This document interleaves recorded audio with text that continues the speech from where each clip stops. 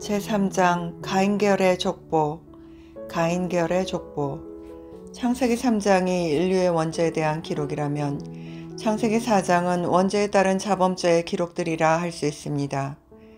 아담의 원죄가 한 개인에게만 국한되지 않고 모든 후손들에게 영향을 끼친 첫 번째 결과가 가장 먼저 그의 아들 가인을 통해서 나타나게 되었습니다. 이러한 죄의 속성은 가인 한 사람뿐 아니라 말씀으로 죄악을 제어하지 못하고 그 유혹에 넘어가는 모든 사람들 속에 강하게 역사하여 점점 더 번식하고 증강하며 성장하여 갔습니다. 그리하여 가인의 범죄와 악함은 가인의 반열에 있는 모든 후손들에게 공통적인 특성으로 나타나고 있습니다. 살인자 가인의 죄악과 포악성이 그 후손들 속에서 더더욱 발전하여 가인결의 람에게 이르러 절정에 달하였습니다. 가인 후손들의 족보는 하나님의 이름이나 하나님의 역사를 전혀 찾아볼 수 없는 소위 하나님 부재의 족보입니다.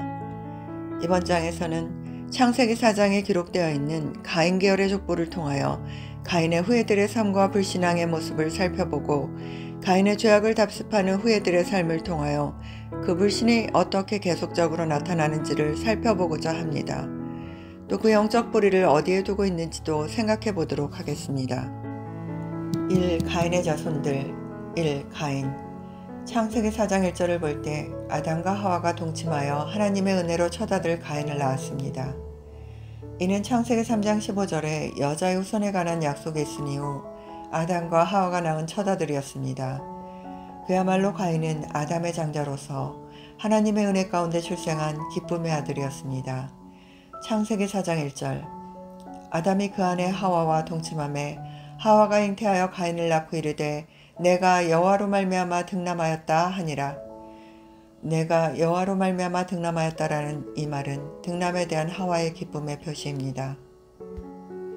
가인의 이름은 인류의 첫 열매를 얻은 하와의 고백이자 하와의 신앙이 반영된 이름으로 하나님의 은총으로 말미암았다는 의미가 내포되어 있습니다. 절대적인 하나님의 은혜 가운데 하나님의 도움을 받아 나았다는 것입니다. 첫 아들로서의 가인에게 거는 아담과 하와의 계대가 무척 컸음을 엿볼 수 있습니다. 바로 이 아들을 통해서 잃어버린 낙원을 재건하고자 하는 희망을 가지고 부른 이름입니다. 등남과 관련하여 하와는 구속주라는 뜻의 여호와라는 신명칭을 사용함으로써 창세기 3장 15절에 여자의 후손에 대한 여호와의 약속을 믿고 구원의 소망을 피력했다고 볼 수 있습니다. 또한 가인이라는 이름에는 여호와께 대한 하와의 감사와 찬송이 함축되어 있습니다. 그 이름은 저주받은 이후 처음 해산의 고통과 위험 중에서 구원해 주신 은혜에 대한 감사의 고백이기도 했습니다. 이러한 하와의 고백은 그녀가 에덴 동산에서 쫓겨났을지라도 다시 회개하여 하나님의 약속을 믿는 신앙생활을 하고 있었음을 짐작하게 합니다. 그리고 세월이 지난 후에 가인과 아벨이 하나님께 제사를 드리는 것만 보아도 가인이나 아벨은 그 부모를 통하여 하나님을 믿게 된 것입니다. 그런데 이렇게 은혜 가운데 출생한 아담의 처다들 가인이 어찌하여 동생 아벨을 죽이는 끔찍한 사건의 장본인이 되었을까요? 1. 가인이 살인자가 된 이유 그것은 하나님께 드린 제사 문제로 시작되었습니다. 하나님이 아벨과 그 재물은 연락하셨으나 가인과 그 재물은 연락하지 않으셨습니다. 두 사람의 차이는 무엇입니까? 첫째, 가인은 믿음을 잃어버렸기 때문입니다. 히브리서 11장 4절에서 믿음으로 아벨은 가인보다 더 나은 제사를 하나님께 드림으로 하나님이 그 예물에 대하여 증거하심이라 저가 죽었으나 그 믿음으로써 오히려 말하느니라고 말씀하고 있습니다. 아벨이 믿음으로 더 나은 제사를 드린 것은 양의 첫 새끼를 바친 것에서 나타납니다. 아벨은 하나님을 향한 믿음이 있었기에 첫 번째 것, 즉 가장 소중한 것을 하나님께 바치는 정성이 있었으나 가인에게는 첫이라는 기록이 없습니다. 하나님은 언제나 소산물의 첫 것, 그리고 첫 아들을 당신의 것으로 거룩하게 구별하셨습니다. 하나님은 믿음이 있는 아벨과 아벨의 재물은 연락하셨으나 믿음이 없는 가인과 가인의 재물은 연락하지 않았습니다. 가인은 하나님을 믿는 사람이었지만 하나님께 제사 드릴 때 이미 그 믿음을 잃어버린 상태였으므로 하나님은 가인도 받지 않으셨고 그가 드리는 재물 역시 기뻐하시지 않으셨던 것입니다. 둘째, 가인은 회개의 기회를 놓쳤기 때문입니다. 하나님께서 가인과 가인이 드린 제물을 거절했을 때 그는 자신이 믿음을 상실했음을 깨닫고 믿음이 있는 아벨을 중보자로 내세워 다시 제사를 드렸어야 했습니다. 그러나 가인의 반응은 의외였습니다. 여호와 앞에 심히 분하여 안색이 변했습니다. 하나님 앞에서 정면으로 얼굴을 붉힌다는 것은 죄악된 어둠의 속성이 아니겠습니까? 창세기 4장 5절 6절에서는 가인과 그 재물은 연락하지 아니하신지라 가인이 심히 분하여 안색이 변하니 여호와께서 가인에게 이르시되 내가 분하여 함은 어찌미며 안색이 변함은 어찌미뇨라고 말씀하고 있습니다. 또한 하나님은 가인에게 죄의 소원이 있는 것을 아시고 가인에게 죄를 다스리라고 권면하셨습니다. 그러나 가인은 하나님이 주신 이 회개의 기회를 놓치고 아벨을 쳐 죽이고 말았습니다. 마지막으로 하나님은 가인에게 회개의 기회를 더 주시기 위해 다시 한번 찾아오셨습니다. 아벨을 죽인 가인에게 묻습니다. 마치 선악과를 따먹고 숨어 있는 아담에게 아담아 내가 어디 있느냐고 물으셨던 것처럼 내 아우 아벨이 어디 있느냐고 물으셨습니다. 하나님은 다 아시면서도 그렇게 물어보셨습니다. 아담이 어디 숨었는지 몰라서 물으신 것이 아닌 것처럼 아벨이 어떻게 되었는지 몰라서 물으신 것이 아닙니다. 하나님은 내가 진심으로 아우를 지켜주었어야 하지 않느냐고 물으시면서 가인의 회개를 원하셨던 것입니다. 하나님은 가인이 회개하고 제가 아벨을 죽였습니다. 죽을 죄를 지었습니다. 용서해 주십시오라고 대답하기를 기대하셨습니다. 하나님은 가인을 끝까지 권고해 주시고 사랑을 베풀어 가시면서 붙잡아 주시려고 했던 것입니다. 그러나 가인은 회개는커녕 오히려 하나님께 대들면서 내가 내 아우를 지키는 자니까라고 당돌하게 대꾸했습니다. 결국 가인은 아벨을 쳐 죽이고 하나님의 말씀에 도전하였으며 하나님이 주신 회개의 기회들을 다 놓치고 말았습니다. 셋째, 가인은 소속이 잘못되었기 때문입니다. 가인이 믿음을 잃어버리게 된 근본적인 원인이 무엇입니까? 바로 가인의 소속이 잘못되었기 때문이라고 성경은 지적하고 있습니다. 요한일서 3장 8, 9절에서는 마귀에게 속한 자, 하나님의 씨가 없는 자라고 그 소속을 밝히고 있습니다. 요한일서 3장 12절에서는 가인이 아우를 죽인 이유를 악한 자에게 속한 자였기 때문이라고 거듭 말씀합니다. 동생 아벨을 죽인 살인자 가인은 형제 사랑의 계명을 정면으로 위반한 대표적인 인물입니다. 그래서 사도 요한은 가인에 대하여 악한 자에게 속한 마귀의 씨요 본질상 하나님의 씨가 없으므로 살인했다고 하였습니다. 가인이 악한 자의 소속이 된 것은 가인이 마귀의 생각을 받아들였기 때문입니다. 가인은 하나님으로 말미암아 아담과 하와가 동침하여 낳은 아들이요 부모의 영향을 받아 처음에는 하나님께 제사를 드렸던 하나님을 믿는 사람이었지만 사단이 가인에게 몰래 마귀의 생각, 어둠의 생각을 뿌리고 갔던 것입니다. 이것은 예수님 초림 당시에 사단이 이스라엘 백성에게 불신의 생각을 뿌린 것과 같습니다. 그래서 예수님은 자신들이 아브라함의 자손이라고 철석같이 믿고 있던 이스라엘 백성을 향해 너희는 너희 아비 마귀에게서 났으니라고 그들의 정체를 폭로하셨습니다. 그들은 아브라함의 자손이라고 자처하면서도 아버지 아브라함과 같은 행사를 하지 않았습니다. 이스라엘 땅에서 태어나 족보의 순수성을 자랑하면서도 오히려 예수님을 배척하고 십자가에 못 박아 처형시켰습니다. 요한복음 8장 44절의 말씀대로 그들의 조상은 아브라함이 아닌 마귀였음이 드러난 것입니다. 그들은 천국의 아들들이 아니라 악한 자의 아들들이었습니다. 그래서 세례 요한은 외치기를 독사의 자식들아 속으로 아브라함의 자손이라고 생각지 말라고 날카롭게 지적하였습니다. 이것은 겉모양은 선민으로 자처하며 경건한 채 하였지만 그 속에는 악의가 가득 찬 것에 대한 준엄한 책망입니다. 회개하지 않는 바리새인과 사두개인들이 자신들 스스로는 아브라함의 자손이라 자부하였지만 실제로는 에덴 동산에서 아담과 하와를 미혹하여 타락해 한 사단의 도구인 뱀의 후예들이었습니다. 베드로 역시 예수님의 수제자였지만 순간 하나님의 뜻을 거스를 때 예수님은 그를 사다나라고 부르셨습니다. 초대교회 때 엑스로는 많은 헌금을 했을지 몰라도 그 마음이 거짓말과 속임수로 가득 찼던 아나니아에게 사도 베드로는 성령이 충만하여 말하기를 사단이 가득하다고 하였습니다. 거짓 선지자는 겉보기에는 양의 옷을 입어 멀쩡하고 거룩해 보이지만 속에는 노력질하는 일이 속임수, 거짓말이 가득합니다. 이러한 모습들이 오늘날 우리의 모습은 아닌지 습관적으로 속이는 사기꾼, 거짓말쟁이와 같은 모든 사단의 속성들이 우리 속에는 없는지 말씀의 거울 앞에 자신을 비추어 보시기 바랍니다. 이 가인은 악한 자의 모형. 이렇게 순간순간 자기도 모르는 사이에 어둠의 자식이 되어 가인같이 사단의 하수인 노릇을 하고 있는 모습을 예수님은 마태복음 13장 24절에서 30절에 가라지의 비유로 설명하셨습니다. 이 비유의 초점은 주인은 좋은 씨만 뿌렸지만 사람들이 자고 있는 사이에 원수가 와서 가라지를 덧뿌리고 갔다는 것입니다. 예수님은 제자들에게 이 비유를 다시 말씀하시면서 좋은 씨를 뿌리는 자는 인자, 가라지를 심은 원수는 마귀라고 해명해 주셨습니다. 즉 가라지를 뿌리고 간 원수는 마귀였던 것입니다. 성경은 가론 유다에 대하여 마귀가 가론 유다의 마음에 예수를 팔려는 생각을 넣었다고 말씀합니다. 이것도 마귀가 가라지를 덧부린 경우입니다. 이어서 예수님은 좋은 씨는 천국의 아들들, 가라지는 악한 자의 아들들이라고 해석하셨습니다. 가론 유다는 예수님이 전하신 천국 복음을 제자들과 똑같이 들었지만 천국의 아들이 되지 못하고 불행히도 마귀에 의해서 덧부려진 악한 자의 아들이 되고 말았습니다.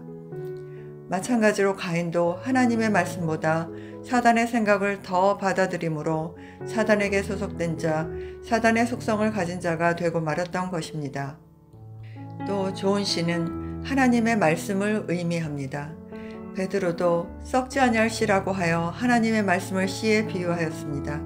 하나님의 말씀 자체가 좋은 씨이고 또한 이 씨앗을 받은 천국의 아들들 역시 좋은 씨인 것입니다.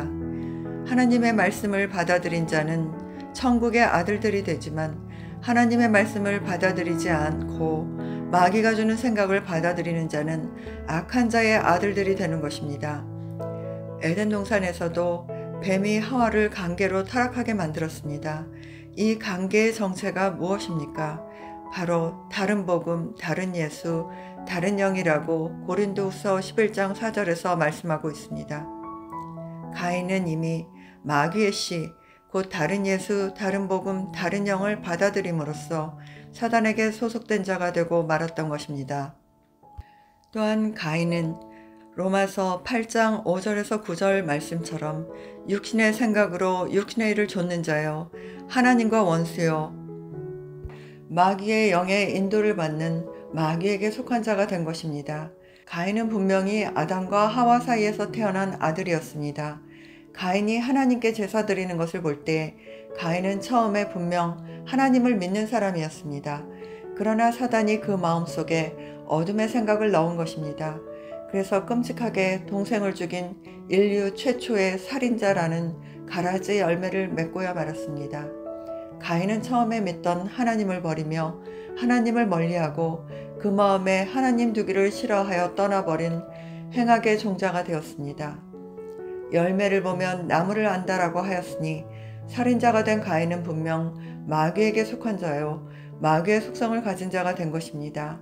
마귀의 자식들은 살인한 자요 거짓말쟁인 마귀의 욕심을 따라 행한다고 요한복음 8장 44절에서 말씀하고 있습니다. 그리하여 창세기 4장 1절에서 가인을 낳고 기쁨과 희망이 가득했던 하와의 고백과는 반대로 가인은 마귀의 소속이 되고 말았습니다. 3. 가인 속에 거하는 죄의 소원 가인 속에 거하는 악한 씨의 실체는 초대교회의 위대한 사도였던 바울의 고백을 통해서 실감나게 깨닫게 됩니다. 가인 속에 있던 어둠의 씨는 마치 로마서 7장 20절에 만일 내가 원치 아니하는 그것을 하면 이를 행하는 자가 내가 아니요 내 속에 거하는 죄니라는 말씀과 같이 죄라고도 말할 수 있습니다. 언제나 죄라는 실존은 인격적인 나, 즉 전인에 관여되어 있는 것입니다. 사도 바울은 로마서 7장에서 거듭거듭 자기 속에 심각한 분열의 비극을 일으키는 정체가 죄라고 폭로하였습니다. 바로 하나님이 가인에게 내가 선을 행하면 어찌 낯을 들지 못하겠느냐. 죄의 소원은 내게 있으나 너는 죄를 다스릴지니라고 책망한 말씀과 같습니다. 가인의 길에 행하는 자들에게 화가 있을 것이라고 성경은 경고하고 있습니다. 오늘 우리는 가인의 길에서 떠나 죄를 다스려야 합니다. 가라지의 비유에서는 마지막 때 사단이 거짓 씨를 뿌리는 대상에는 택함받은 성도를 비롯하여 그 누구도 예외일 수 없다고 교훈하고 있습니다. 가라지는 잠자는 사이 밤에 심겨졌다가 그 열매를 맺을 때에야 비로소 알게 됩니다. 그러므로 우리는 좋은 시, 하나님의 말씀을 받은 마음밭에 가라지가 심겨지지 않도록 늘 깨어있어 마음밭을 잘 지켜야 하겠습니다.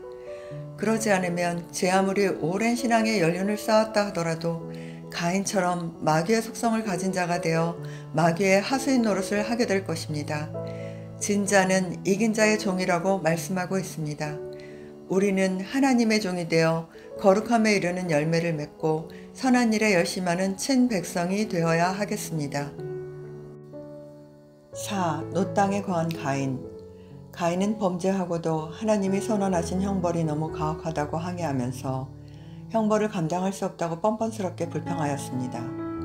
가인이 회개하는 마음으로 이같이 말했더라면 좋았으련만 그런 기미는 없어 보입니다. 시편 기자가 회개하는 심정으로 나를 주 앞에서 쫓아내지 마시며 주의 성신을 내게서 거두지 마소서라고 했던 것과는 완전히 상반된 마음이었던 것입니다. 살인자 가인에게 내린 저주가 무엇입니까? 첫째, 밭을 가려도 땅이 다시는 효력을 주지 않는다는 것입니다. 이 저주는 아담에게 내린 저주보다 더 심각한 것이었습니다. 땅이 살인자 가인을 거절하는 저주였습니다. 범죄한 아담은 종신토록 수고하여야 그 수산을 먹을 수 있었지만 살인자 가인에게는 아예 땅이 열매를 내지 않는다는 것입니다. 무엇을 하든지 농작물은 물론 모든 열매를 거둘 수 없는 것입니다. 수고한 대로 소득을 거둘 수 없는 인생이 되고 말았습니다. 두 번째 내린 저주는 땅에서 쫓겨나는 결과를 초래했습니다. 인생의 방황이 시작된 것입니다. 마음 놓고 편히 살 수 있는 안식처가 사라진 것입니다. 이처럼 죄는 하나님과 함께 있지 못하게 합니다. 그리고 죄는 모든 관계성을 끊어버립니다. 위로 하나님과의 관계가 멀어지면 아래로 자연 만물로부터도 환영받을 수 없을 뿐더러 내가 소속되었던 공동체 안에서의 관계성도 약해지기 마련입니다. 그 결과 스스로 고립되어 소외감을 느끼게 되는 것입니다. 이렇게 가인의 후손들은 하나님을 등진 후에 에덴 동산 동편에 있는 놋 땅에 거하였습니다. 놋의 뜻은 방황하는 자, 방랑자, 도망자라는 뜻입니다. 하나님을 떠난 상태로 삶의 진정한 목적 없이 방황하는 인류의 모습입니다. 확실히 기쁨의 땅 에덴과는 극명한 대조를 이룹니다. 범죄한 사람은 누구라도 이 땅의 저주에서 자유로울 수 없습니다. 이 저주를 깨고 부요와 풍요를 누릴 수 있는 길은 오직 예수 그리스도를 믿는 길밖에 없습니다. 가인은 놋 땅에 거하면서 성을 쌓았습니다. NASB에서는 city라고 번역하고 있습니다. 성이라는 단어는 히브리어로 עיר인데 그것은 성읍을 말합니다. 이러한 최초의 도시 건설은 에덴에서의 추방이라는 하나님의 저주를 희석시키려는 의도와 인간들끼리 힘을 모아 성을 높이 쌓음으로 하나님의 간섭으로부터 아주 독립해보려는 의도가 숨어 있습니다. 하나님을 떠난 인간이 성을 쌓는 일은 창세기 11장의 바벨탑에서 그 절정을 이룹니다. 인간이 하나님을 떠나 독립하여 자기만의 성 안에 갇혀 사는 순간으로부터 방황하는 인생이요. 그들이 거하는 땅은 아무리 노력하고 힘쓸지라도 손에 잡힌 것 없이 먼지만 날리는 그야말로 놋 땅에 불과한 것입니다. 그들은 성을 쌓고 이름을 아들의 이름을 따서 에녹이라고 하였는데 그 후손들에게까지 그 죄악의 원상을 전수하고자 했던 의도를 엿볼 수 있습니다. 2. 에녹 가인의 자손 에녹은 셋의 6대 손 에녹과 동명입니다. 그러나 셋의 후예 에녹은 경건한 사람으로서 믿음의 극치에 이르렀던 에녹이고 가인의 아들 에녹은 세속에 속한 불경건한 자로서 에녹이라고 칭합니다. 에녹은 가인이 여호와 앞을 떠나서 처음 얻은 아들이었습니다. 하나님 앞에서 떠난 인본주의의 첫 열매였던 것입니다. 가인은 자기 아들 에녹이 인본주의적 가문의 성공을 위해 바쳐지기를 소원하는 마음으로 받침이란 뜻을 가진 에녹이라고 지은 것 같습니다. 처음 에녹의 탄생은 가인 계열 가운데 다른 사람들보다 비교적 자세히 설명되어 있습니다. 에녹 이름의 뜻을 통해서 볼 때 1. 가인은 도시를 건설한 후에 그 도시 이름을 아들의 이름대로 에녹이라 했습니다. 에녹이라는 이름은 하나님을 떠난 인생들이 인본주의의 아성을 과시하는 데 바쳐졌습니다. 2. 범죄 후 하나님을 떠난 자들이 앞서 하나님과 함께하면서 누렸던 모든 선하고 아름다운 것들을 전복시키고 자기 뜻대로 살고자 혁신을 일으키는 일에 본격적인 시작이 되었습니다. 이것은 처음으로 쌓은 성의 이름을 에녹이라고 한 것을 통해 확실히 알 수 있습니다. 3. 그래서 에녹은 하나님께 반역하는 불신과 배반을 가르치는 부정적인 의미의 전문적인 선생이 된 것입니다. 가인이 쌓은 성의 이름이 에녹이었기에 에녹 이름은 너무나 유명해졌으며 사람들은 에녹을 자주 불렀을 것입니다. 그는 세상적으로는 이름이 널리 알려진 유명한 사람이 되었을 것입니다. 그러나 하나님과 아무 상관이 없는 그의 이름은 하나님 앞에는 전혀 기억이 되지 않는 이름이었던 것입니다. 살았다는 이름은 가졌지만 하나님 보시기에는 이미 죽은 자요 존재 의미가 없는 이름이었습니다. 존귀한 성도의 이름은 잠시 우고하고 떠날 이 땅에서는 보잘것없어 보일지라도 영원한 하나님의 나라 생명책에 흐려지지 않고 기록됩니다. 아버지의 뜻대로 되기를 원하여 십자가에 달리신 예수님은 하나님으로부터 모든 이름 위에 뛰어난 이름을 받았습니다. 바로 이 예수님의 발자취를 따라 하나님의 뜻에 순종하는 모든 성도들에게 생명책에 그 이름들이 기록되는 영예를 주셨습니다. 하나님의 생명책에 기록되어 있는 우리의 이름은 사라지거나 없어질 수 없습니다. 가인과 그의 아들 에녹은 하나님 없이 시작했습니다. 하나님으로부터 독립하여 얻은 첫 아들을 바침 게시 선생이라고 하더니 또 그들이 거할 첫 도시의 이름 또한 에녹이라 하였습니다. 가인과 에녹이 하나님 없이 세운 인간적인 계획과 포부는 아주 대단했던 것 같습니다. 그들은 자기들끼리 하나님 없는 지상 천국을 꿈꾸며 에덴 동산에 버금가는 화려한 도시를 건설하려 했던 것입니다. 그러나 하나님을 떠나 시작한 그들의 결과는 어떠했습니까? 그들은 대학살과 모든 잔인성과 죄악의 정신적인 원조가 되고 말았습니다.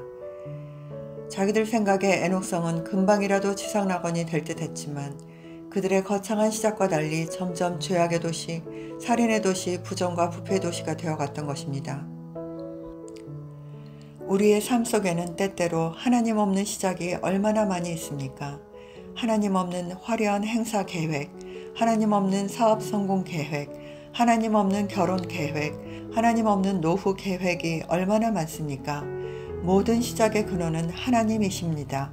무슨 일이든지 하나님께 기도함으로 아뢰며 말씀으로 확인하며 하나님의 사람에게 묻고 시작할 때 하나님이 그 결실에 이르기까지 전폭적으로 책임져 주신다는 것을 믿으시기 바랍니다. 3. 이랏 이랏은 에녹의 아들입니다. 그의 이름의 뜻을 볼 때 그는 자기 자신을 과시하는 자입니다. 하나님을 피해 도망다니면서 온갖 범죄를 저지른 후 하나님이 어디 있느냐 우리가 하는 일을 하나님이 보지 못할 거야 라고 말했을 것입니다. 하나님의 없다함으로 죄 짓는 일에 전혀 두려움이나 거리낌이 없었을 것입니다. 그러한 자를 성경에서는 가장 어리석은 자라고 말씀하고 있습니다. 하나님은 우리의 행동, 그 행동의 배후에 숨은 동기, 우리의 심장과 폐부까지 감찰하시고 우리의 생각을 낱낱이 살피십니다. 현재뿐 아니라 과거와 미래까지 살피시는 분입니다. 그러므로 우리는 하나님 앞에 속일 수도 없거니와 그 앞에는 아무것도 감출 수 없는 것입니다. 하나님의 눈은 일곱이며 전우지에 충만하시며 일곱 날의 빛과 같이 환히 보고 계십니다. 또한 그 눈은 불꽃 같아서 그 앞에서 누구도 피할 자 없는 것입니다. 그 눈으로 선인과 악인을 모두 감찰하신다고 하셨으며 시편 33편 13절에서는 여호와께서 하늘에서 감찰하사 모든 인생을 보신다고 하였고 14절에서는 그 거하신 곳에서 세상 모든 거민을 하감한다고 하였고 이어서 15절에서는 저희 모든 행사를 감찰하신다고 하였습니다. 욥기 34장 21절 22절에서는 하나님은 사람의 길을 주목하시며 사람의 모든 걸음을 감찰하시나니 악을 행한 자는 숨을 만한 흑암이나 어두운 그늘이 없느니라고 말씀하고 있습니다. 하나님이 창조하신 시간과 공간 속에서 더 깊이 숨고 더 멀리 도망할지라도 하나님이 천지를 명하여 일제히 서도록 명하시면 애써 도망친 그 장소, 그 시간에 하나님이 또 서 계시게 됩니다. 아간이 외투한 벌과 금, 은을 훔쳤을 때 이스라엘 사람들은 아무도 몰랐지만 하나님은 찾아내시고야 말았습니다. 미갈이 창가에서 춤추며 찬양하는 다윗을 보고 심중에 업신여겼던 사실을 그 누구도 몰랐으나 하나님이 아시고 그 결과 미갈은 죽는 날까지 자식이 없었습니다. 아나니아가 소유를 판 것 중에 일부를 숨긴 것을 아내 외에는 아무도 몰랐습니다. 그 악한 마음을 하나님이 베드로에게 미리 알게 하셨고 그 결과 당일에 쓰러져 장사되고 말았습니다. 참으로 하나님 앞에서 숨기려는 자, 그 앞에서 거짓말로 속이는 자, 하나님 앞에서 도망하려는 자는 얼마나 어리석은 자입니까? 이라의 의미 가운데 과시라는 것은 자랑해 보이되 사실보다 크게 나타내어 보이는 것을 말합니다. 자기가 현재 가진 재산이나 외모, 권력이나 명예보다 더 부풀려서 남에게 자랑하고 스스로에게는 위안을 삼는 것입니다. 바벨론의 느부갓네살 왕이 그랬습니다. 그는 바벨론의 웅장한 성읍을 바라보면서 자신의 능력과 권세와 영광을 힘껏 과시하고 자랑했을 때 그 말이 채 끝나기도 전에 하늘에서 소리가 들렸고 그는 그 말씀대로 당장에 들짐승과 같은 비참한 처지로 전락하고 말았습니다. 바벨론 왕 브로닥 발라단 앞에서 하나님의 은혜를 전달하지 않고 자기 힘과 자기 능력만 뽐내고 자랑하던 히스기야 왕 때문에 유다 나라는 패망할 것이라는 선고를 받고 말았습니다.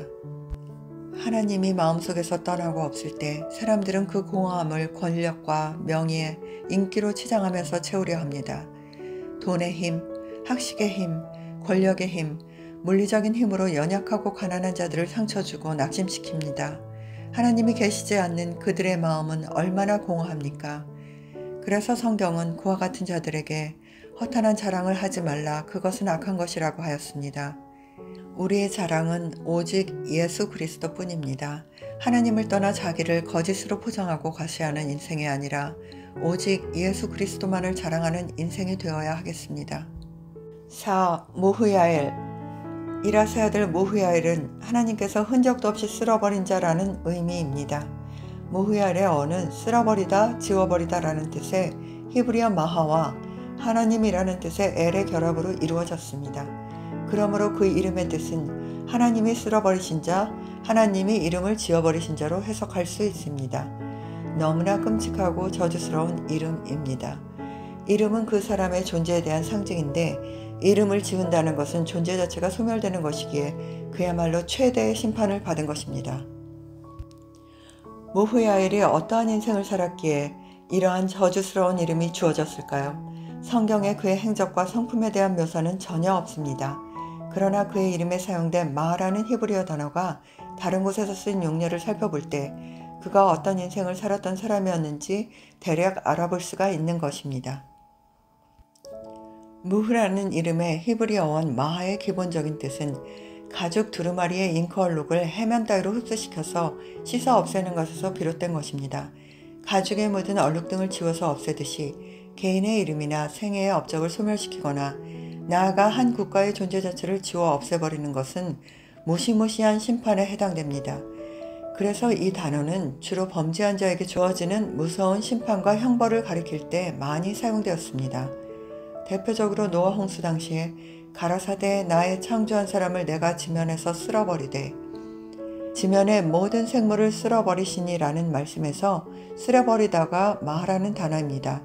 이처럼 마하는 죄에 대한 심판으로 모든 것을 쓸어버린다는 의미로 사용되었습니다.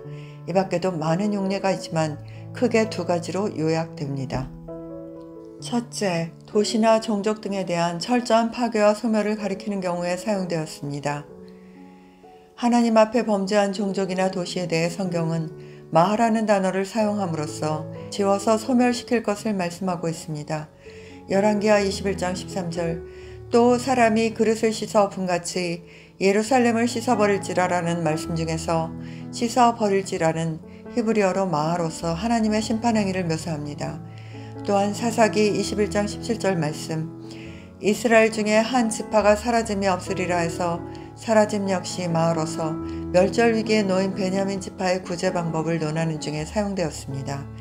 이와 같이 마하라는 단어는 하나님께 범죄한 도시나 종족들에 대하여 그들의 존재를 전혀 기억할 수 없을 만큼 아주 지워 없애라는 심판의 맥락에서 사용되었습니다. 둘째, 사람의 이름이나 기억을 없애는 경우에 사용되었습니다. 대표적인 경우가 아말렉 족속에 관한 기록입니다. 출애굽기 17장 14절에서 아말렉을 도말하여 천하에서 기억함이 하리라. 또한 신명기 9장 14절에도 그들을 멸하여 그 이름을 천하에서 도말하고 라는 말씀이 나오는데 기억함이 없게 하다, 도말하다 라는 단어가 바로 마하입니다. 아말렉 족속은 이스라엘의 출애굽 여정 중에 피곤해서 무리에서 뒤떨어진 약한 사람들을 공격했던 사람들이었습니다. 하나님은 그 사실을 기억하시고 이스라엘의 후손들에게 아말렉의 이름을 지워 없애서 기억됨이 없게 하라고 명령하신 것입니다. 이름을 지워 없앤다는 것은 그 사람의 존재 가치를 없애는 무서운 심판의 선언입니다. 이상과 같은 두 가지 용례를 볼 때 말하는 단어는 주로 하나님의 뜻에 도전하고 죄악을 범한 종족이나 도시, 개인을 멸절하는 하나님의 심판에 사용되었습니다. 무후야엘의 삶은 끊임없이 하나님의 백성을 괴롭히고 하나님의 뜻에 도전한 아말렉 족속이나 그 마음의 계획이 항상 악하여 하나님 앞에 패괴하고 강포가 충만했던 노아 홍수 당시 사람들과 같았음을 그의 이름을 통해서 알 수 있는 것입니다. 5. 무드사엘 무드사엘은 무후야엘의 아들로 그 어원을 볼 때 상반된 두 가지 뜻이 있음을 알 수 있습니다. 첫째, 무드사엘은 일반적인 사람을 가리키는 히브리어 마토와 지옥을 가리키는 수월의 합성어로 지옥의 아들이라는 뜻입니다. 구약 성경에서 수월은 주로 무덤이나 지옥, 즉 죽은 자들의 세계를 가리키는 장소로 사용됐습니다.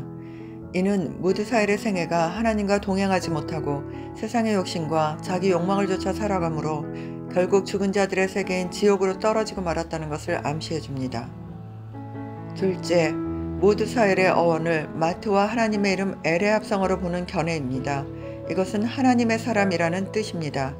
무드사일의 아버지 무후야일은 자식을 낳고 하나님의 사람이라는 뜻을 가진 이름으로 지었을 것입니다.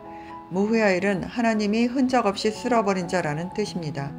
그는 자신의 이름의 뜻대로 자기가 성취한 모든 것이 한꺼번에 사라지는 허무한 인생을 살면서 자식만은 하나님의 사람이 되어서 하나님의 손에 붙잡혀 평안과 축복의 삶을 살기를 소망했을 것입니다. 그래서 아들을 무드사일로 이름한 것으로 보입니다. 그런데 무드사엘의 자식인 라멕이 가인보다 더 악한 살인자가 된 것을 볼때 무드사엘의 삶이 하나님의 사람이 아닌 지옥의 아들로서의 삶이었음을 알 수 있습니다. 무드사엘의 이름처럼 인생들은 항상 두 가지 삶의 모습으로 살아갑니다. 어떤 사람은 하나님의 사람으로서 하나님의 뜻을 받들고 하나님의 영광을 위하여 하나님의 손에서 크고 존귀하게 쓰임을 받습니다. 하나님의 사람은 하나님께 소속된 사람, 하나님이 사용하시는 사람이라는 뜻으로 연약한 인생들이 하나님이 쓰시는 사람이 된다는 사실 자체만으로도 너무나도 영광스러운 호칭인 것입니다. 모세, 사무엘, 엘리야, 엘리사, 다윗, 무명의 선지자들이 그런 칭호를 받았습니다. 사도 바울은 디모데를 오직 너 하나님의 사람아 라고 불렀습니다. 또 어떤 사람들은 지옥의 아들로 어둠에 사로잡혀 사단의 하수인 노릇을 하면서 인생을 살아갑니다. 유다서 11부터 13절에서는 가인, 발람, 고라처럼 하나님을 대적하는 자들의 삶을 영원히 예비된 캄캄한 흑암에 돌아갈 유리하는 별들이라고 말씀하고 있습니다. 여기 영원히 예비된 캄캄한 흑암은 바로 지옥을 가리키는 표현인 것입니다. 우리 인생의 앞길에는 언제나 상반된 두 가지 삶이 펼쳐질 가능성이 있습니다. 신명기 30장 15절에서 보라 내가 오늘날 생명과 복과 사망과 화를 내 앞에 두었나니 라고 말씀하고 있습니다.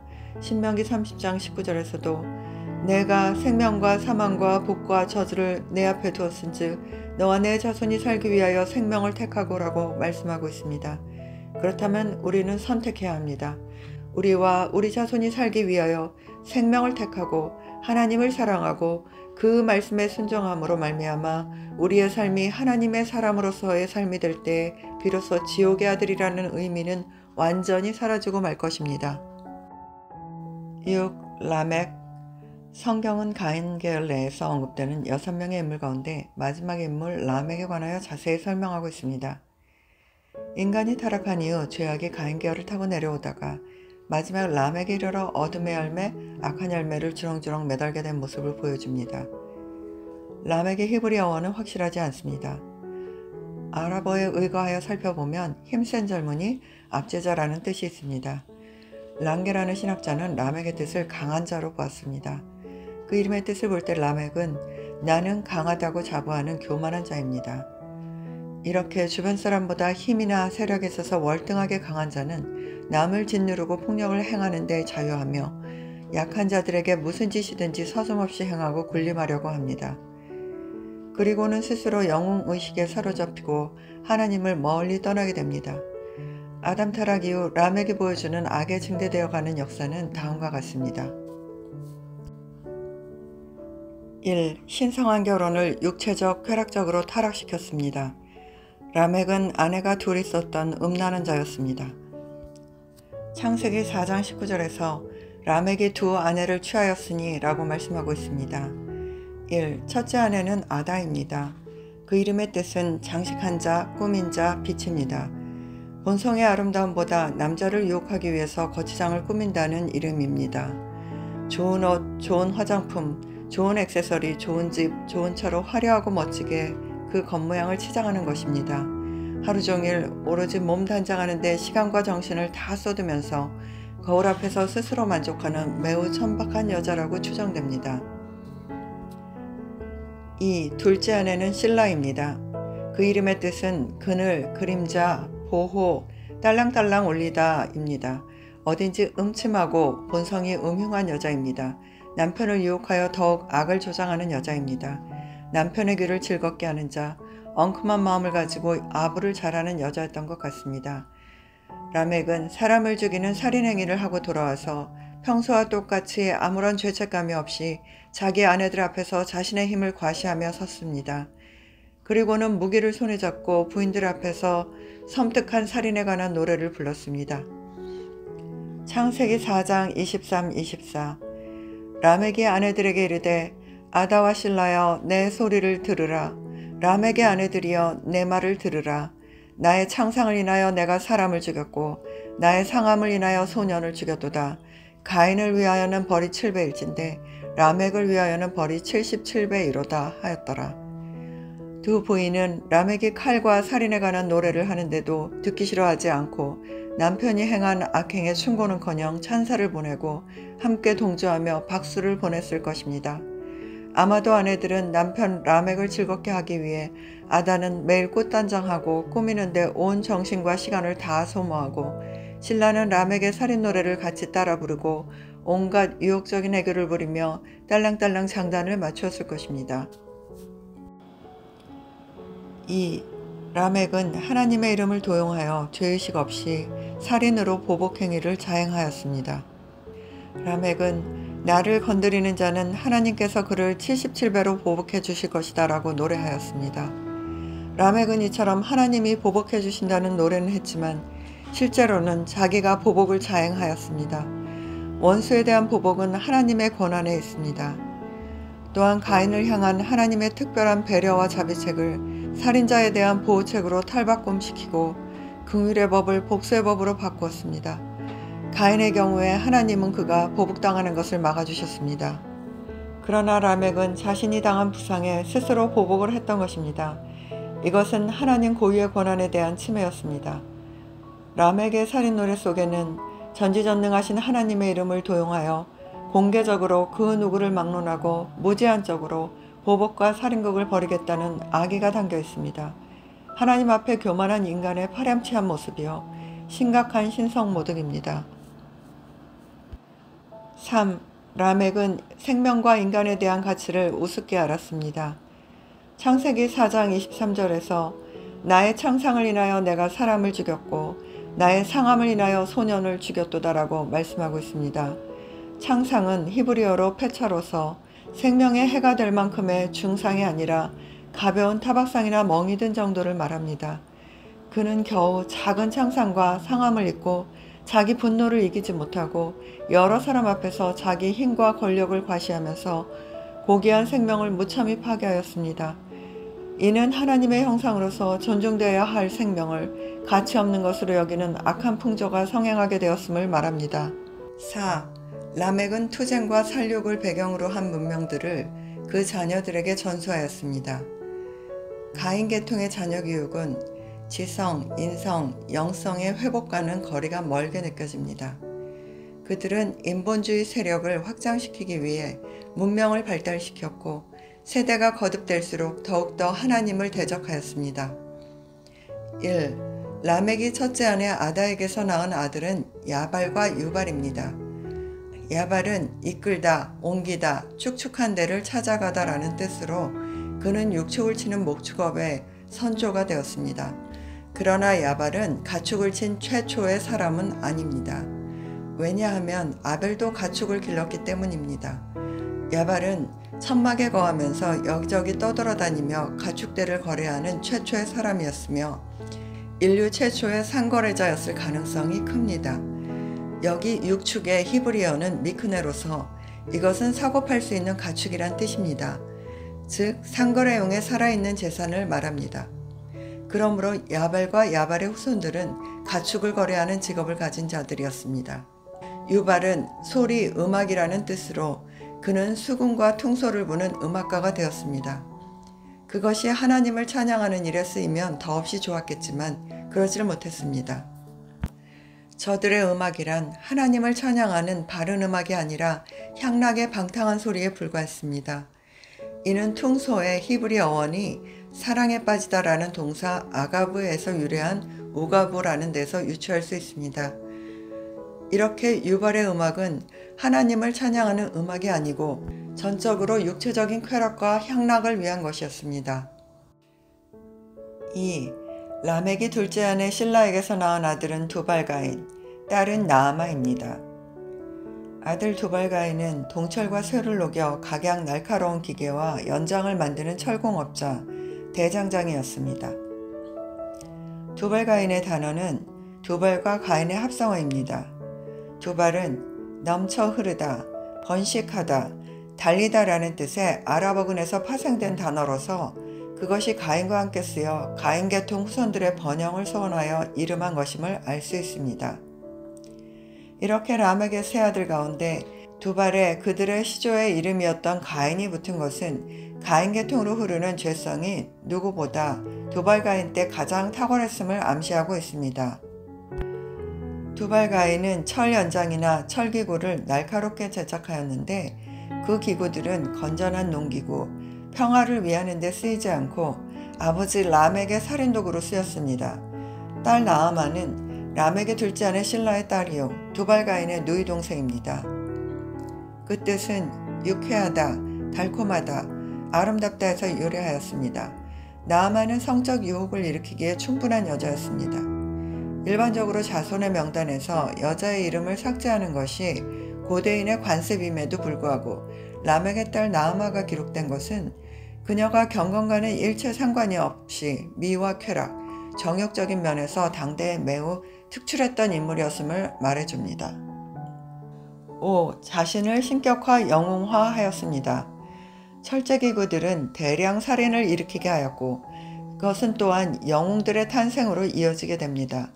그 결과 자연적으로 영웅을 추대하고 따르는 거대한 악의 세력이 형성되고 막강한 힘으로 하나님께 도전하기에 이르렀습니다. 이것들은 모두 그들의 문명 발달이 가지고 온 악의 결과였습니다. 모든 문명의 발달은 인간 생활을 편리하게 하려는 인본주의, 그리고 육적인 만족, 곧 성적 타락을 향해 흘러갔습니다.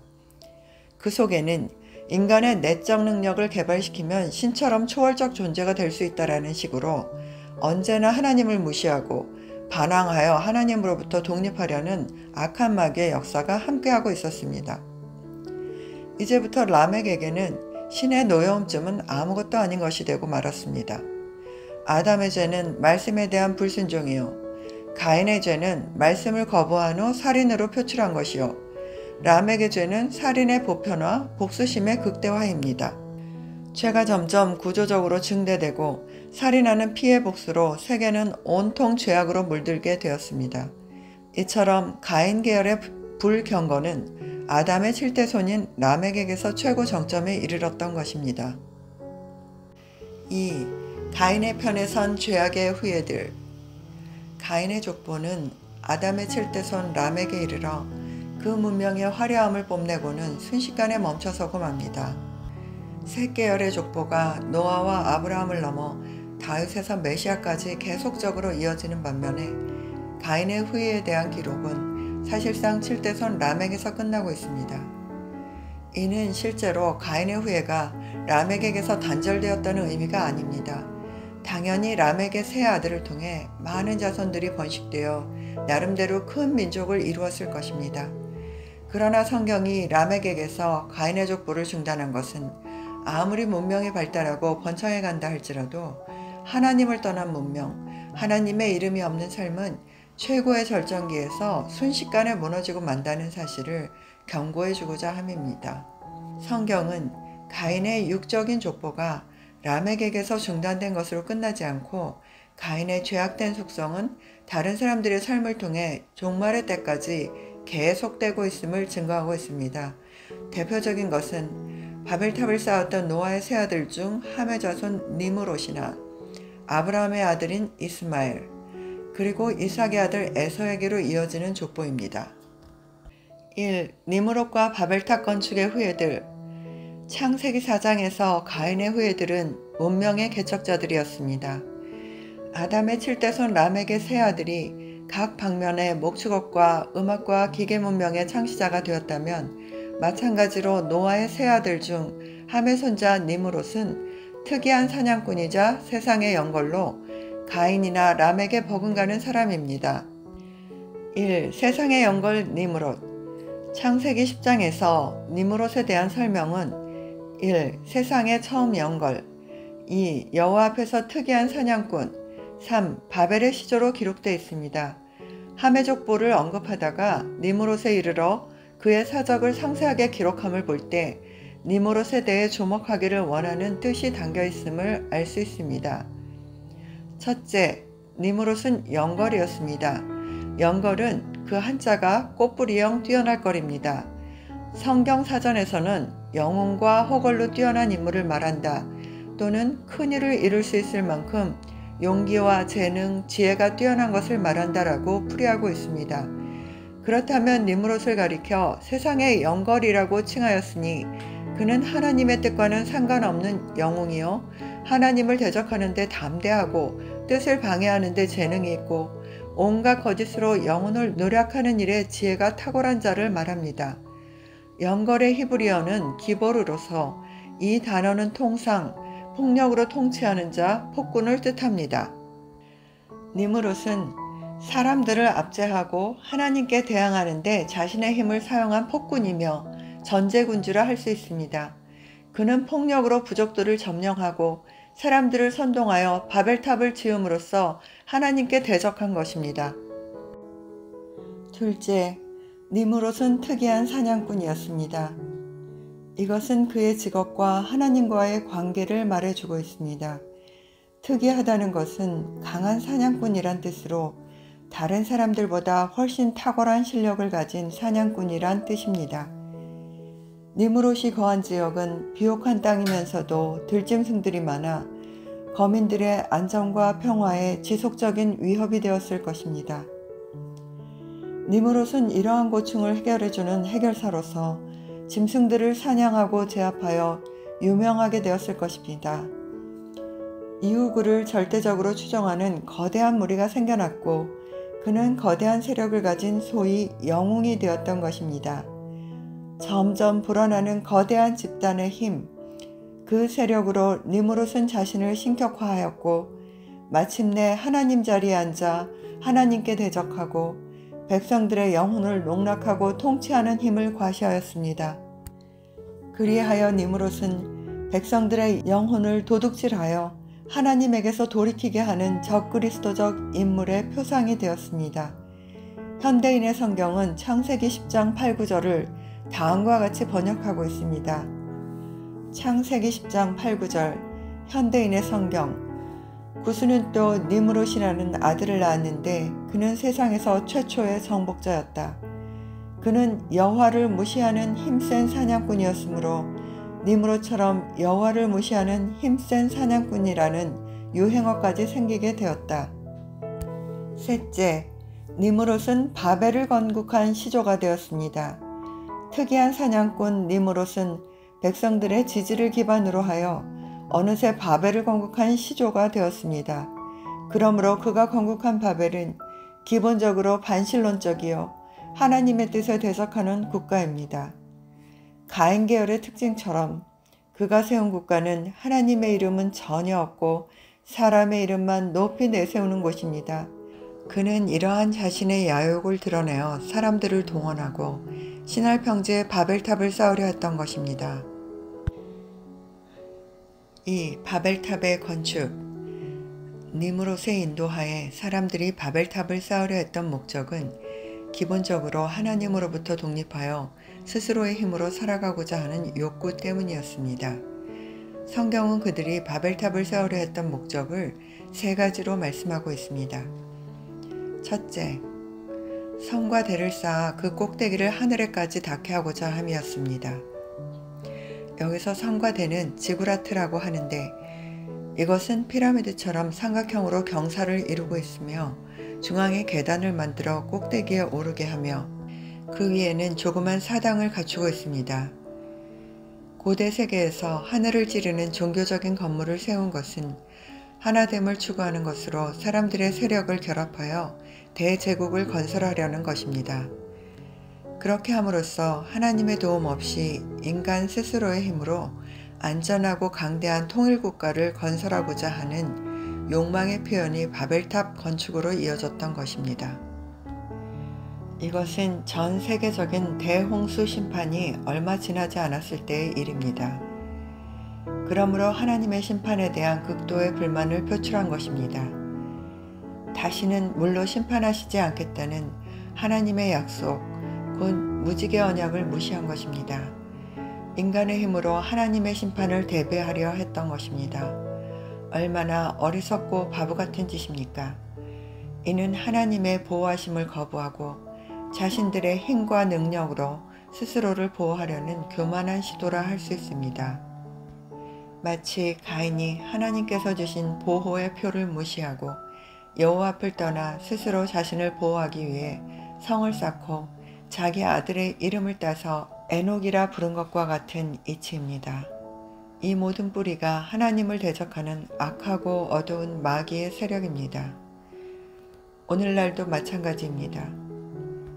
비단 세상에서뿐 아니라 교회 안에서도 성경을 중심하지 않고 한마음 한뜻을 강조하며 어둠의 무리가 하나로 뭉치는 경우가 얼마나 많습니까?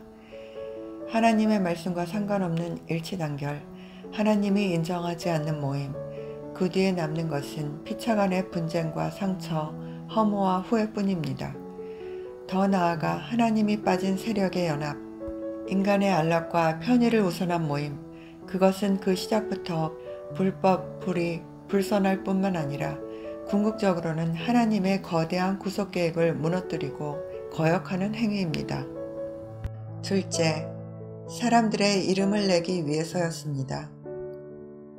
이들은 가인의 후예들과 같이 하나님의 이름을 내세우지 않고 자신들의 명예와 이름만 내고자 했던 자들입니다.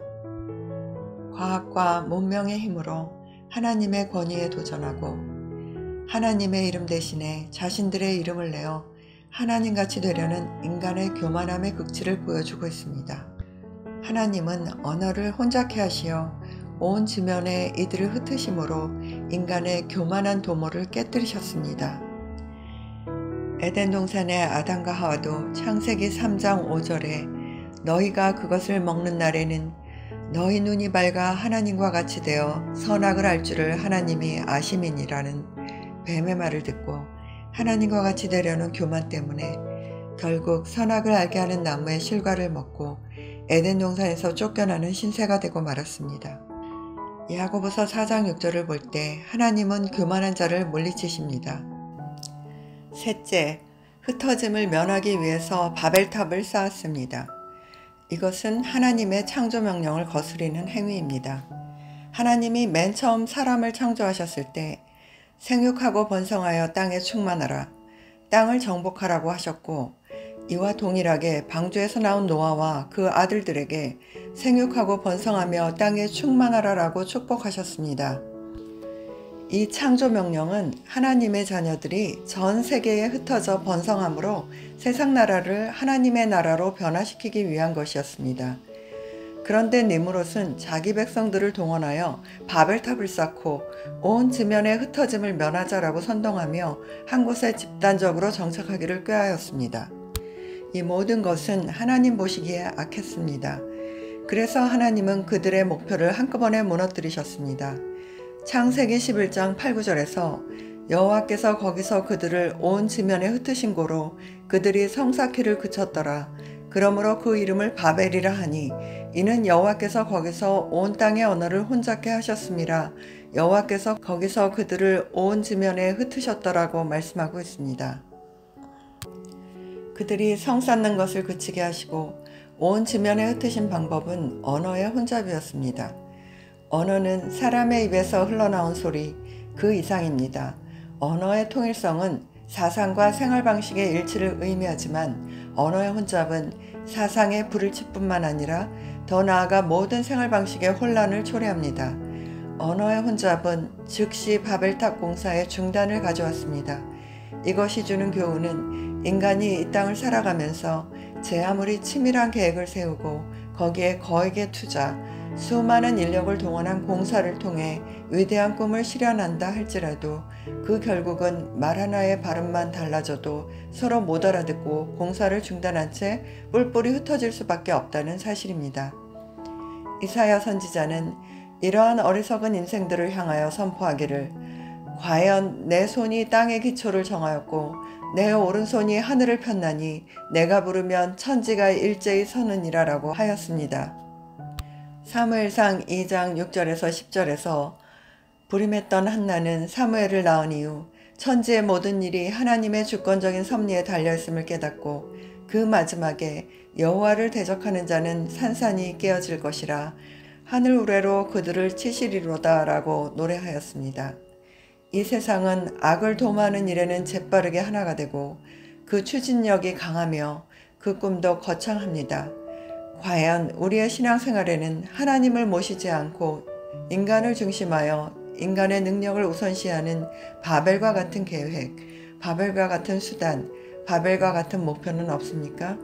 우리는 오직 하나님의 주권적인 섭리 속에서 선하신 목적을 위해 부르심 받은 자들입니다.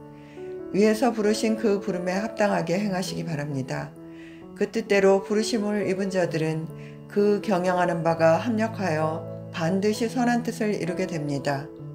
복음에 합당한 생활, 복음을 위하여 협력하는 생활로서 하나님을 기쁘시게 하는 믿음의 사람들이 다 되시기 바랍니다. 이 이스마엘과 에서 가인 후에 죄악된 문명의 역사는 라멕에게서 중단되었다가 다시 니무롯을 통해 바벨탑 건축 운동으로 발현되었지만 이것은 하나님의 흩으심으로 인해 숲으로 돌아갔습니다. 그러나 가인 계열의 역사는 거기서 중단되지 않고 아브라함의 육신의 후손 이스마엘과 에서를 통해서 또다시 지속적으로 나타납니다. 1. 이스마엘 아브라함이 몸종 하갈에게서 낳은 아들 이스마엘은 들나귀 같은 인생을 살아가게 될 것이라고 말씀하고 있습니다. 창세기 16장 12절에서 그가 사람 중에 들나귀 같이 되리니 그 손이 모든 사람을 치겠고 모든 사람의 손이 그를 칠지며 그가 모든 형제의 동방에서 살리라 하니라고 말씀하고 있습니다. 이는 이스마엘이 아브라함의 언약의 자손인 이삭과 그 후예들과 경쟁하며 대치하게 될 것을 말씀해 주는 내용입니다. 그의 거처는 동방이라고 말씀하고 있습니다.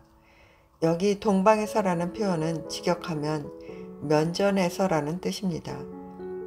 영어 성경 RSV에서는 이 부분을 그의 모든 친척들과 대항해서라고 번역하였습니다.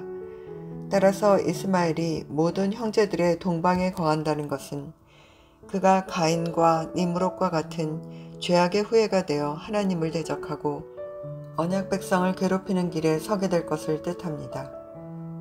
니므롯이 특이한 사냥꾼이 되어 사람들 위해 군림하고 하나님을 대적했던 것처럼 이스마엘도 들나귀처럼 사람들을 포악스럽게 괴롭히는 자가 된 것입니다. 특히 그 손으로 사람들을 치고 모든 사람의 손이 그를 친다라는 내용을 볼 때 그는 가는 곳마다 이유 없이 닥치는 대로 분쟁과 다툼과 전쟁을 일으키는 자였던 것 같습니다. 끊임없이 손을 들어 하나님의 백성들을 치고 하나님의 뜻에 도전한 것입니다. 그의 일생이 적개심으로 가득하여 많은 사람과 원수 맺고 등지는 생활이었습니다. 한두 사람이 아니고 모든 사람들이 꺼림으로 그 주변에 사람이 없다면 그 인생이 얼마나 고독하고 불쌍하고 가련한 신세입니까? 실제로 이스마엘은 어렸을 때부터 동생 이삭이 태어나자 그를 희롱함으로 들나귀와 같은 인생을 살았습니다. 혈통적으로도 이스마엘은 애굽 땅 여인과 결혼함으로써 니무롯과 관련된 지방과 맺어지게 됩니다. 창세기 10장 6절에 노아의 아들 함은 구스와 미스라임과 북과 가나안을 낳았는데 미스라임은 오늘날 애굽의 조상이 됩니다. 또 구스는 니무롯을 낳았습니다. 그러므로 이스마엘이 미스라임의 후손인 애굽 땅 여인과 결혼함으로써 그는 니무롯 계통과 가까운 자가 되었던 것입니다. 오늘날 중동에서 끊임없이 전쟁을 일으키며 세계의 화약고로서 전 세계의 불안을 가증시키는 사람들 역시 이스마엘의 후예인 아랍 사람들입니다. 이 에서 에돔족 속의 조상인 에서는 이삭의 쌍둥이 아들 중의 하나였지만 장자권을 경홀히 여겨 동생 야곱에게 팔아넘김으로 언약 백성의 자리를 빼앗기고 말았습니다. 에서의 아내는 가나안 여인 중 해족 속에서 취한 아다와 히위족 속에서 취한 오올리바마가 있으며 이스마엘의 딸 바스맛도 그의 아내였습니다. 혈통적으로 함의 아들 가나안의 지방과 맺어졌으며 동시에 이스마엘 지방과도 맺어지게 된 것입니다. 이처럼 가인 계열의 불택자들은 사상과 삶에 있어서뿐 아니라 혈통에 있어서도 같은 부류끼리 결혼하여 살아가므로 하나님의 뜻에 도전하는 불신앙의 길에 서게 됩니다. 에서의 자손 중 주목할 만한 인물은 창세기 36장 12절에 나오는 아말렉입니다. 아말렉은 에서의 아들 엘리바스가 첫 디나를 통해서 낳은 아들입니다. 아말렉은 훗날 아브라함의 자손들이 애굽에서 나와 광야 여정을 행진할 때 르비딤에서 그들을 공격했던 자손들입니다. 아말렉이 광야 여정 중에 있는 이스라엘 백성을 공격한 것에 대해 하나님은 크게 분노하셨습니다. 하나님은 대대로 아말렉과 싸우시겠다고 선언하셨을 뿐 아니라 아말렉이 행한 일을 영원히 잊지 말고 천하에서 그 이름을 도말하라고 명령하셨습니다. 이들은 끊임없이 이스라엘 백성을 괴롭히고 멸망시키기 위해 이웃 국가들과 동맹을 맺어 공격해왔던 민족입니다. 이 밖에 바사의 아하수에로 왕 때 이스라엘이 아각 사람 하문하다의 아들 하만에 의해 하만 터면 멸절당할 뻔한 위기를 겪은 적이 있습니다. 그러나 유대인들은 왕후 에스더의 죽음을 각오한 믿음을 통해 그 위기에서 기적적으로 건짐을 받았습니다. 성경은 이 하만을 아각 사람이라고 소개함으로써 그의 조상이 에서임을 밝히고 있습니다. 3일상 15장 8절에 아말렉 사람의 왕 아각이라는 말씀을 볼 때 아각은 아말렉 사람으로 에서의 후손이었습니다. 하만 또한 아각 사람으로서 에서의 후손이었던 것입니다.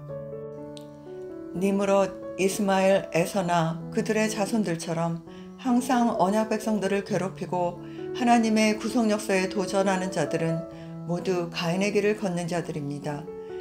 이들의 어둠의 역사는 앞으로 하나님의 구속 역사가 완성되는 그날까지 그치지 않을 것입니다.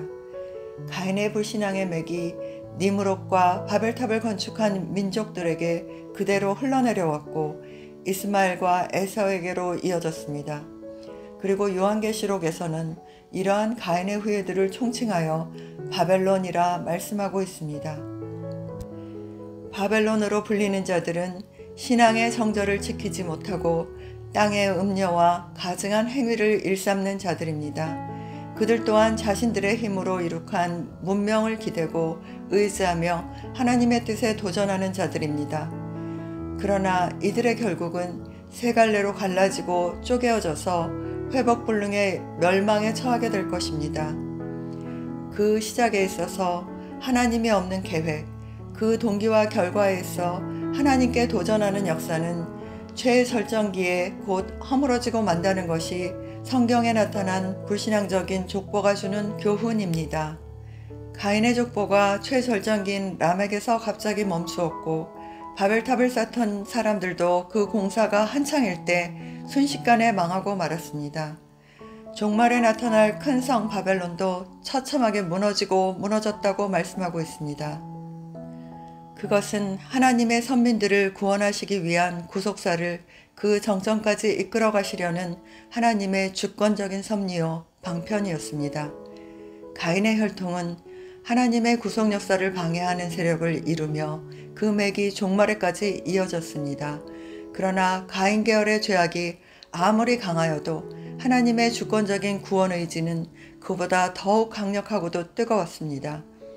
사단의 머리를 상하게 하시고 원수마귀 사단을 발등상 되게 하실 날까지 그러할 것입니다. 온통 죄악으로 넘실대고 요동치는 저 세상 바다물들 속에서도 하나님의 구속 역사는 죽어가는 바다를 되살리는 도도한 생명의 거대한 물길이 되어 흐르고 있습니다. 온갖 죄악이 가지각색으로 곳곳마다 만연하고 있는 요즘 세태로 보아 구속사의 마지막 종착역이 점점 다가오고 있음을 알 수 있습니다. 신령한 기름을 예비하여 등불을 밝혀야 할 때입니다. 자다가 깨어날 때입니다. 하나님의 구속 역사의 마지막 성취가 멀지 않았습니다. 믿음의 옷깃을 여미고 경건에 이르기를 힘쓰며 후회 없는 삶이 되도록 부지런히 내 자신을 점검해야 할 것입니다.